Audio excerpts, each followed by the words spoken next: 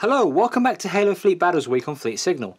My name is Alex, and today I'm going to take a closer look at the UNSC fleet from the Fall of Reach starter set. We'll take a closer look at each of the ships and their stats and abilities and so on, and we'll also lightly touch on, on fleet building in passing. We'll also take a look at the commander card, Michael Stanforth. Okay, so let's begin. Okay, so let's begin with the UNSC Epoch Heavy Carrier. So as you can see, we've got a supported version and an unsupported version, and the stats are slightly different depending on which one you decide to take. So both versions have a movement of 6 inches, so this isn't the fastest ship that you'll see in the, um, in the UNSC fleet. And the damage track for the supported version is 1085, whereas for the unsupported version is 985.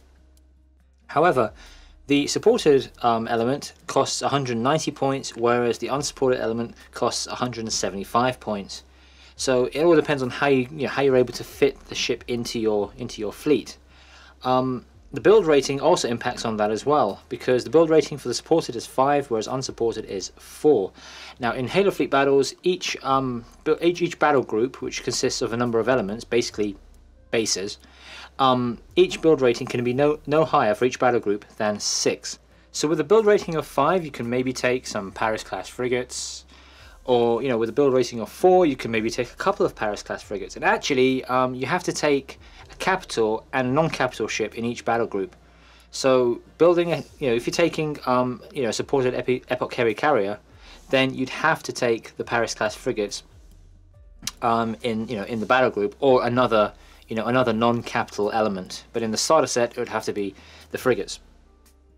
So moving on, we can see that it's got six hangars, which means that you can put six, um, basically six tokens worth of fighter, you know, fighter craft onto the ship. Now in Halo, smaller craft are represented by tokens such as these ones. Here you can see that we've got um, a couple of interceptors and a bomber that we're actually going to talk about a bit later on. But Suffice to say for now, um, the hangars rating means that you can take up to six um, flight slots worth of tokens, I should say, onto um, onto this ship. Now, not every flight token is worth one flight slot. Some are worth two. So you know you might not be able to take as many ships as you think you can um, until you you know you get used to you know making making UNSC fleets. Okay, boarding craft and security detail, we're not going to go into too much detail, no pun intended, about um, in this video, but suffice to say, boarding craft is the amount of pelicans that you can chuck, literally fire, at an enemy ship. Uh, you know, they'll be initially on board this ship, so you can have up to three pelicans on board this ship. And security detail is, you know, all about, basically all about what those, um, you know, what, what your Spartans or whatever do once they get onto an enemy ship. Okay, moving on to system loadouts. We've got Carrier Action 3, which is really useful actually if you are taking wings and using wings, and you should be using wings, um, because um, this lets you literally replenish wings when they are destroyed. So basically, whenever something is destroyed in, in um, Halo Fleet battles, it goes to the scrapyard. That's actually like a game zone um, in the game called the scrapyard. And so if your wings are destroyed and go to the scrapyard, then each turn you can replenish up to three of those wings, because it's carrier action 3, you can replenish up to 3 wings that were destroyed and add them back to the battlefield, put them back into wings that are you know in action on the battlefield. Um, hard burn 1 inch simply means that if you want to um, if you want to move in a straight line you can add an extra 1 inch to that movement. So you can't turn if you do a hard burn but if you just want to get somewhere fast and you're going in a straight line you can add an extra inch and move 7 inches instead of 6 inches. Missile barrage works with the missile batteries, so I'll touch on that in a minute. Um, point defense and titanium armor are interesting because in in Halo, in Halo Fleet battles, the defense role has been taken from the um, it's been taken away from being like a you know like a regular stat like you might see shields in Firestorm Armada or something like that you know. Um, it's been taken away from that and it's been added into the loadouts. Now the loadouts are essentially they're kind of like MARs if you're familiar with Firestorm. Um, they're not exactly like MARs, but they're kind of sort of going in that direction. And it's interesting that the defense role has been kind of modularized into the loadouts. So point defense 6, um, point defense defends against um, boarding craft, against bombers, and also against missiles. So you add that to your defense pool. So point defense 6 means you add 6 dice to your defense pool when you're rolling against any of those types of, you know, of those threats. Um, whereas titanium armor can be added to, you know, any kind of threat. So whatever you, you know, whatever's shooting at you, as long as you've got titanium armor up, then you can add 5 dice here, because it's titanium armor 5. You can add 5 dice to your defense pool. However, if you're if you know if the enemy has managed to do the first point of damage against this ship, so if they've you know managed to get 10 successes and they've knocked out the first point of damage, then your titanium armor disappears, it cracks, and you can't use that titanium armor anymore on that ship. So you know once you've managed to crack through your UNSC ship, then you know it becomes less able to defend itself and slightly easier to you know to take down. Okay, now let's move on to the weapons. Um, here we've got a light Mac for primary weapon and missile batteries for secondary weapon. And just another quick note here, if you, if you are familiar with Firestorm Armada, you don't have to fire primary first and then secondary second in Halo. You can fire the missile batteries first if you want to, and then follow up with a light Mac. So if you you know if you do play Firestorm, don't think of it as you know primaries first, secondary second, because it doesn't work like that in Halo. So the light Mac, which is um, magnetic accelerator cannon, has a range of 10 inches at short range, 20 inches at long range. Um, short long range does affect the firepower rating depending on the weapon, um, but with Macs there's no there's no effect on firepower rating. Um, the weapon loadout is Mac, of course, and it has a 1. The 1 is the Mac rating for this particular Mac. So um, what you do is, if for example you're firing with multiple elements which all have different you know Mac ratings or even the same Mac rating, you would add up the ratings of all the Macs participating in the attack. And then that might enable you to put vulnerable tokens onto the enemy ship, and vulnerable tokens um, decrease the damage track of that ship by one per you know per number. So for example, if the Epoch had you know, a vulnerable token on it, then the damage track would go from 1085 in the supported version down to 974. So vulnerable tokens make it easier to take out ships, and you know this represents you know, the MAC rating represents um, the UNSC's kind of strategy of you know wearing down ships you know gradually and you know eventually being able to destroy them. Um, all Macs always fire in the fore arc. Um, they're always mounted on the front of the ship, and in the supported um, formation, you can throw, you know, it'll throw 12 dice against an enemy, whereas unsupported, it will throw 10 dice. And I should also mention, actually, that the, um, the defenses of the unsupported heavy carrier are actually different as well. So instead of 6-5, we've got 5 and 4 for point defense and titanium armor, respectively. Okay, moving on to the secondary weapon, we've got missile batteries, um, which have a range of 12 inches at short range, 24 inches at long range. Um, this actually matters because if we look at the firepower effect table, um, this is basically, this is um, you know, a really important part of the game, and it always starts at 4. However, missiles, UNSC missiles, give plus 1 at long range on firepower effect. So instead of a 4, it goes up to a 5.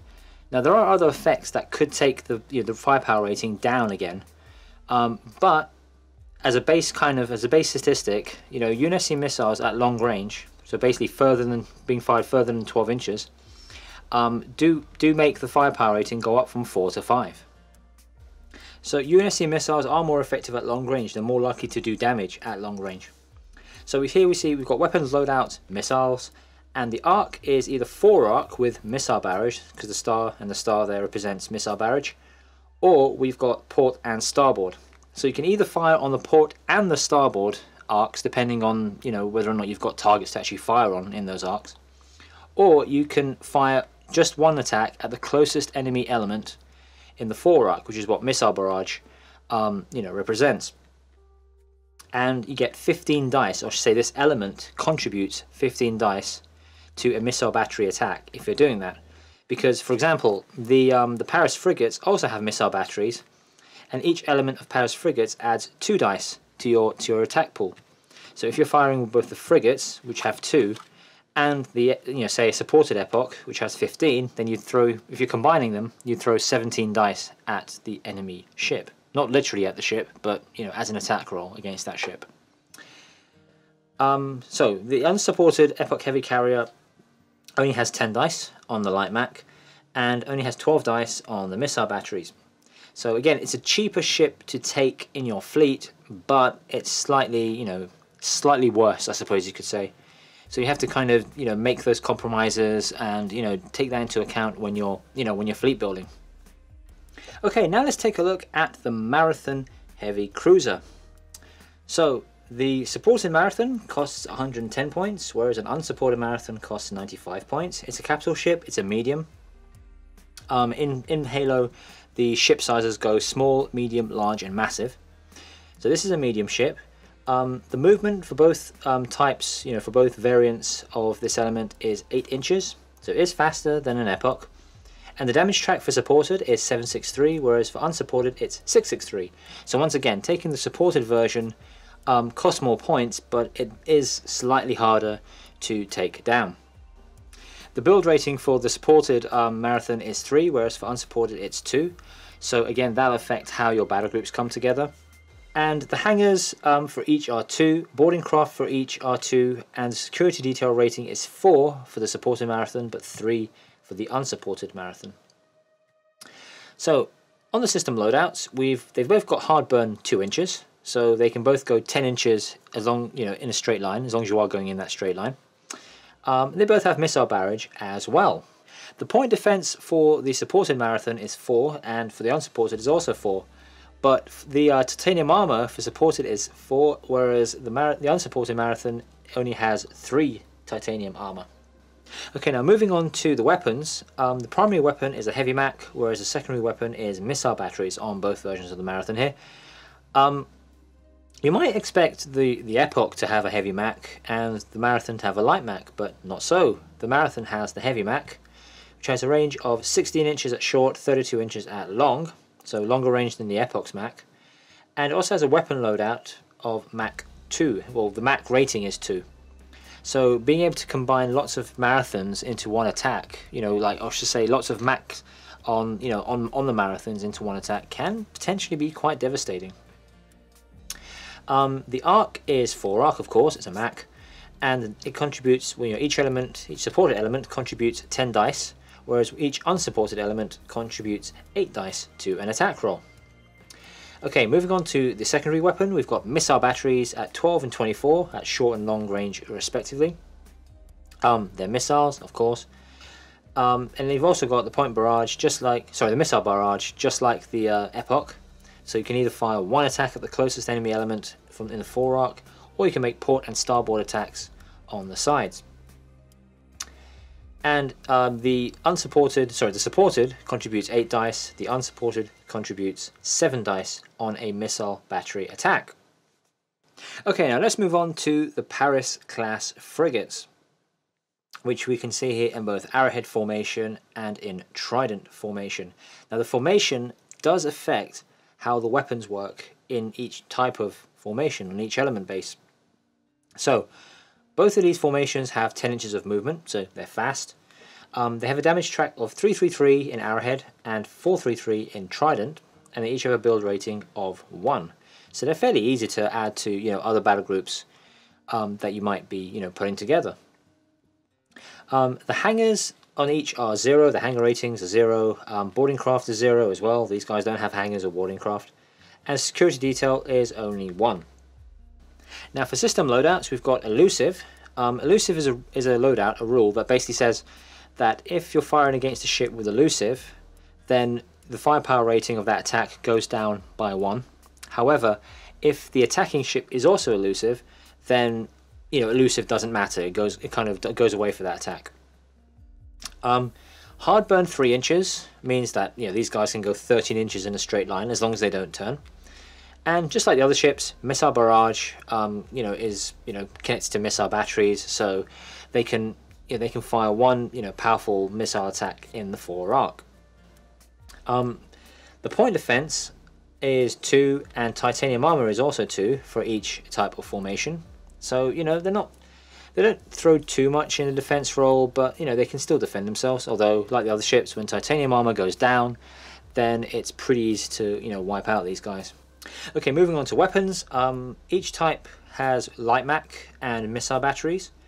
Um, the ranges are the same on both: 10 and 20 for light Mac, and 12 and 24 for the missile batteries.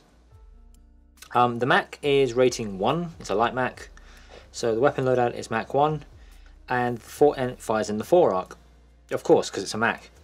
And each element will contribute 4 dice. Now, this doesn't seem like a lot, but when you think of how cheap the build rating is on these guys, you know, if you add two of these to an element, and you know the whole battle group fires Macs, then you know two elements of Paris class frigates, at least in arrowhead formation, um, they'll be able to you know contribute four dice. So that, you know two two arrowhead formation bases will contribute eight Mac dice, you know eight dice to an attack. You know if you're attacking with Macs, which isn't insignificant in this game. So you know it doesn't look like much, but it can actually add up, given how cheap the bases are to add to battle groups. Um, on the arrowhead formation, the missile batteries are, of course, classed as missiles. They can fire one attack in the fore arc, or you know, they can attack in port and starboard. And they have two. They contribute two dice um, to any missile attacks, which again can you know can add up. However, if you're firing, if you're using a trident formation um, Paris frigate base, then the missile batteries go up to three dice, whereas the Mac cannons go down go down to three dice. So it depends on your style and you know how you want to build your fleet. Um, if you want to you know go more with Macs and if that's more your style, then you can you know take the arrowhead formation. Whereas if you're more comfortable with missiles, if you know if firing missiles is more your style, then you can take more tridents and you know take advantage of the extra dice on you know on the trident formation. So the formation, you know, the way the, the you know basically the way the ships are on the base affects how you know how the weapons work in each type of formation. So, you know, that's for you to decide, you know, how you're going to build your battle groups when you're actually putting together your fleet. Okay, moving on to smaller craft. Here we've got a broadsword interceptor, a sabre interceptor, and a longsword bomber. So looking at the interceptors first, um, they've both got 16 inches of movement. In case you're wondering, the um, the broadsword stats are outside of the brackets, and the sabre's stats are those that are inside the brackets. So both types have 16 inches of movement and the damage track is 2 for the broadsword, 3 for the sabre, so the sabre is slightly tougher.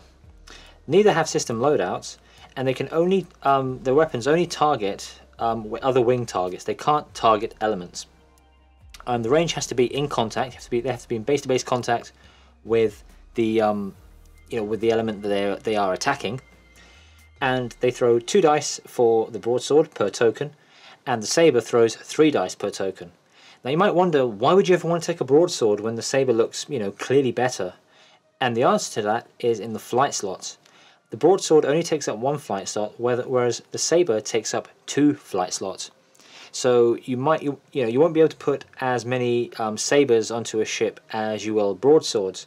However, that kind of it kind of scales in either direction. So you know, at lower um, hangar ratings, maybe taking sabres is a better idea. Whereas as you go up the ratings, you know, as you go up the um, the hangar ratings, then maybe broadswords start to come into their own. And the reason for that is because you can take more broadswords than you know than you can take sabres on any given ship. Okay, moving on to the bombers. Um, the longsword bomber has a flight slot of one flight slot rating, so you can potentially, for example, on the Epoch, you could take a, you know a flight, a wing, I should say, of six uh, longswords. The movement is 16 inches. Um, the damage track is two, and there are no um, you know, there are no system loadouts on the longsword. For the weapons, they're actually better against elements than against wings. So you want to you know you want to get these guys onto attack runs um, because against elements they chuck two dice per token, and against um, other wing targets they only throw one dice per token. So you really want to send these guys on attack runs and you know not engage um, you know interceptors and other wing targets. Okay, let's move on now to boarding craft, which are the UNSC Pelican and Spartans on board a UNSC Pelican. So let's look at the Pelican first without Spartans. Um, has flight slot rating of zero because it's part of the boarding craft rating of larger ships, not hangars. Um, it has a movement of 12 inches, a damage track of 4, so it's not as easy to take out as a, um, you know, like an interceptor or a, a bomber, but, you know, all the same, it's only one number on the damage track. Um, it has security detail of 2, and it has a system loadout uh, which says Heroic Save Trooper. Now what this basically means is that if a Pelican token would be destroyed, you roll a Halo dice, and on the result of a 2, because it's Trooper, if you get a 2 result, then that you know that token is not destroyed. Um, it doesn't have any weapons because it's meant to you know it's meant to be a purely a boarding craft. It's not meant to be any you know any, any sort of attack craft. Okay, so Spartans on board Pelicans. Um, these have a flight slot rating of zero because again it's part of the boarding craft stat, not the hangar stat. Um, has movement of 12 inches, damage track of 6 because because Spartans, and a security detail of 5 again because Spartans because you know when the Spartans get on board a ship they are going to wreck face.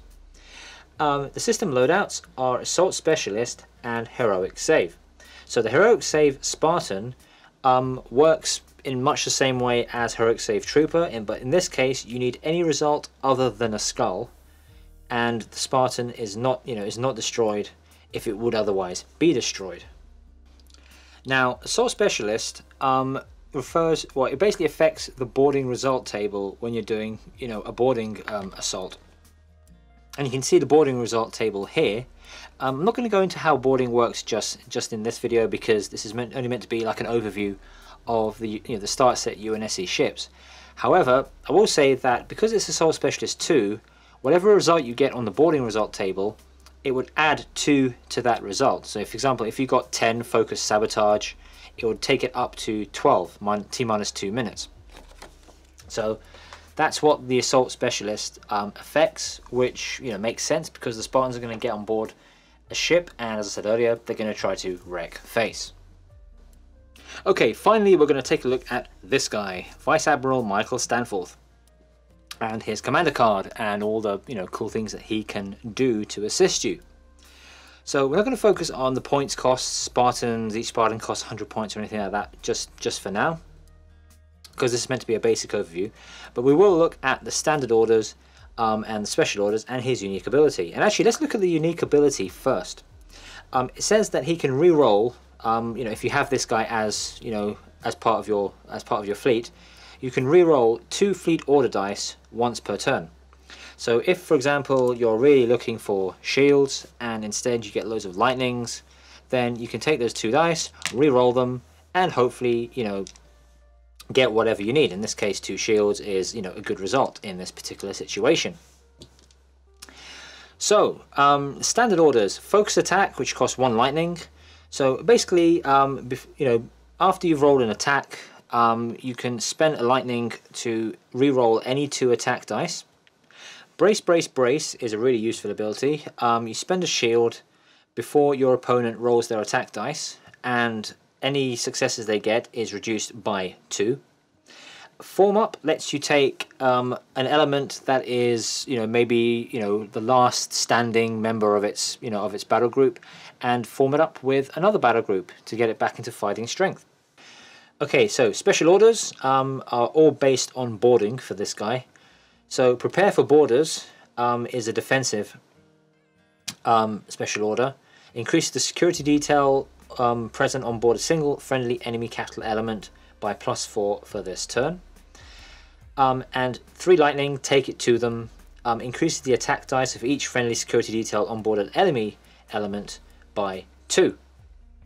So his special orders are all about boarding and trying to increase the effects of boarding in your favour. Okay, so that was a closer look at the UNSC fleet from the Fall of Reach starter set. As always, leave a thumbs up or a thumbs down on this video depending on how you felt about it, and be sure to subscribe to keep up to date with new videos on this channel and support the channel as well.